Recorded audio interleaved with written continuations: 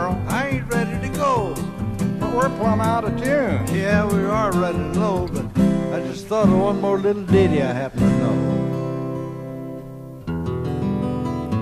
You pick the first one, Merle.